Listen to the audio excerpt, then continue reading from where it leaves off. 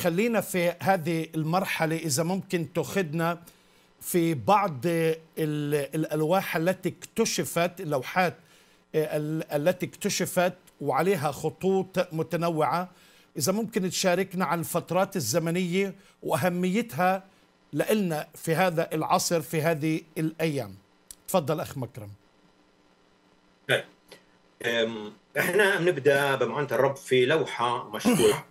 اسمها لوحة مرنفتاح آه تقريبا 1209 قبل الميلاد يعني هذا بنعد القرن ال 13 قبل الميلاد.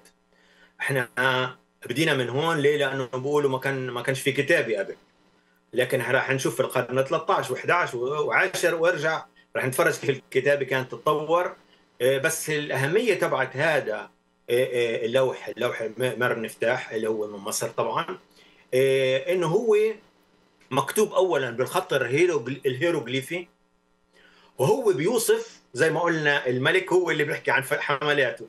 فهو بيحكي عن حملاته حملاته للفرعون نفسه مار نفتاح في ليبيا في كنعان وبيقعد يحكي في الكتابات هاي في عندهم نوع معين كيف يكتبوا المدن وفي عندهم طريقة كمان أو إطار معين كيف يكتبوا الشعوب. فمنشوف كتابتها كتابة أو ذكر الانتصارات على المدن الكنعانية مثل أشكلون جازر وغيرها. ولكن بنوع آخر أو بإطار آخر يعني بيكتبوا الكتابه بإطار ثاني زي شكل ثاني بيكتب أو بيذكر شيء اسمه أسيريار. وهذا طريقة الكتابة بفرجي إنه هو لا هو مديني ولا هو دولي. لكنه يكتب عنه كمجموعة ناس وبسبب إنه في في مصر القديم الحرفين الساكنين الراء واللام ما كان في إمكانية نميز بيناتهم ممكن نقراه بسهولة إسرائيل. لأنه اللام محل الراء ف يعني مجرد نغير الراء الأخيرة إسرائيل. أو إسرائيل دائما بنشوف في تغيير معين لأن عم نحكي عن لغة مختلفة تماما. ولكن معظم الباحثين اتفقوا إنه هذا أول ذكر لإسرائيل في التاريخ كشعب في كنعان. وطبعا في هاي الوقت ما كان في مملكة واضحة بشكل يعني بارز. ما كانش في مملكة. إحنا بنعرف المملكة بالقرن العاشر. فيش ما في ولكن هو شعب وهيك يقدم. يقدم كمجموعة ناس بمعنى شعب. وطبعا هذا الاكتشاف بيعود تاريخه من القرن الثاني عشر قبل الميلاد. يعني 1209 عمليا يعني عمليا الثالث عشر قبل الميلاد. يعني أوكي. طيب كمل اخ مكرم؟ يعني خلينا نكمل بالاكتشافات بشكل نوصل سريع. أنت الرب لا.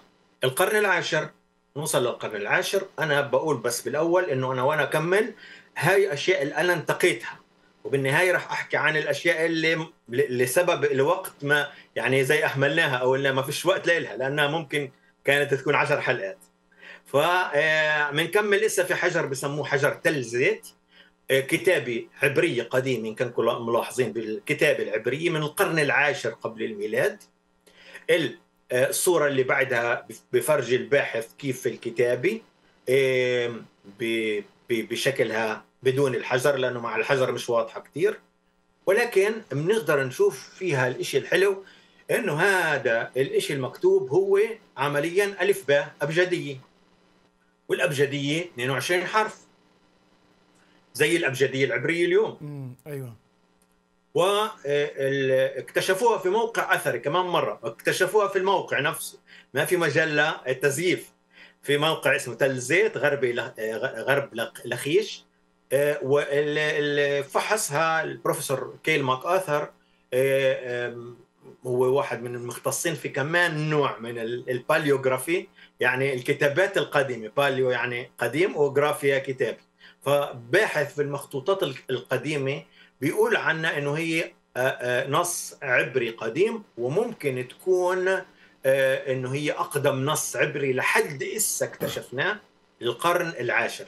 هذا مهم لأنه كانوا يقولوا في القرن العاشر ما في كتابة بالعبري وعلى هذا الاساس يشككوا في الكتاب المقدس إنه هل بالأساس كتب شو يعني كتب موسى شو يعني كتب يسوع. هي نوعا ما ضربة ضربة قوية يعني في ضربات قاضي كمان بس في يعني ضربه ورا ضربه للمتشككين اللي محترمين تفضلوا شوفوا اسمعوا قارنوا بكل احترام كيف إحنا بنحترم الآخرين.